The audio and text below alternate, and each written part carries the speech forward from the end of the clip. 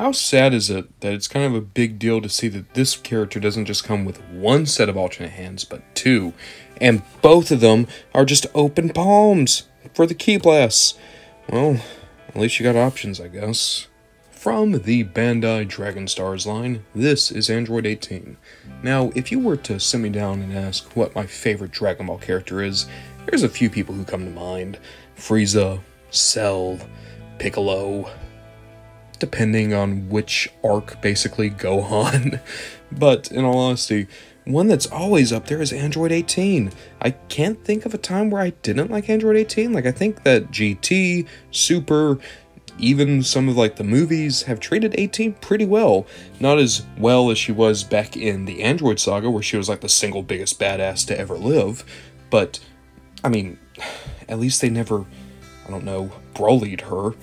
That said, I'm kind of excited to see what this figure's like. I have had it before, but I was kind of in a so-so state of mind back then. Now that I'm looking at this with clean eyes, let's see if the figure is actually solid or not. And what do you know, it's one of the best figures in the line so far. Um, yeah, messing with this figure, it is incredibly solid.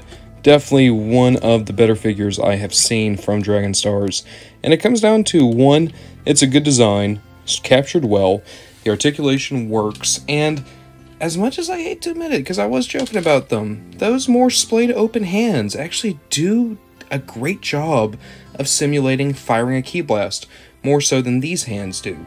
So at least there's that, man. But let's talk about some of the other cool parts of the figure. The head sculpt is decent. It's not the best Android 18 head sculpt I've ever seen, but it's not the worst one either. I do wish that maybe the forehead wasn't so pronounced. It is pronounced on Android 18, do be fair, but I don't think it's quite that large. Also, as you can see, the chest is a different shade of color from the neck and the head. A little bit jarring, but the outfit looks great. They do have the red ribbon logo here on the back. Then you have Universal here at the shoulders. You also have a ball joint the head, should probably mention that cut up here at the upper arm. You have double jointed elbows and a deep one at that. Universals at the wrist. You have a good diaphragm joint. Universals at the hips, though no drop down, just do the skirt, I assume. You have double jointed at the knees, once again, very deep double joints. And you do have universal here at the feet. The only issue I really have with this figure, right, is if you articulate down here, there's a chance that you're going to pop the arm off. It does pop back in, but that's not great. So make sure that you're using the shoulder specifically to move the arm. Uh, it's annoying, but at the same time, it's not anything that would just absolutely ruin the figure. Like most Dragon Stars figures, the only accessories are hands. You get two closed fists, two open hands, great for ki blasts or some poses, and then you have two more kind of grabby hands uh, usually these are for ki blasts, but quite frankly, the open hands are much better for that.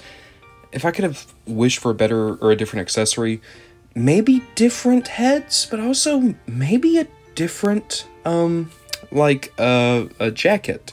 Because Android 18 also wore the black vest, though then again, there was a different shirt underneath that one. Uh, I don't know. I'm kind of just spitballing here. What I'm really getting at is I wish these figures came with better accessories. At least alternate faces, man. It'd be nice. And say it with me now, Vegeta is way too goddamn tall. Still. But Android 18 does scale with everyone else in my small collection. Scales incredibly well with Perfect Cell, specifically. That is a wonderful scaling for those two characters, and quite frankly, that's out of this lot the character I would most care about, because Cell has the closest connection to 18 out of any of these. I will say, I really need to track down the Dragon Stars Krillin and 16, I already, or rather 17. I already really wanted them both. Seeing how well 18 turned out just makes me want them more. But a figure they've not done yet is Android 16, and I would adore to see him. Seeing as how that Figuarts Android 16, though a wonderful figure, is also like 400 bucks nowadays. Dragon Stars, at the end of the day, is an easy line to figure out. It is a cheaper alternative to Figuarts. It is a discount line that is enable, enabling you to get a Dragon Ball collection without absolutely breaking the bank. However, some figures, like, like this 18, Perfect Cell, even to some extent the Broly, all show that this line has great potential, which is weird to say considering it's also like 5 years old at this point. And there is a decently high ceiling for the quality of these figures, if nothing else.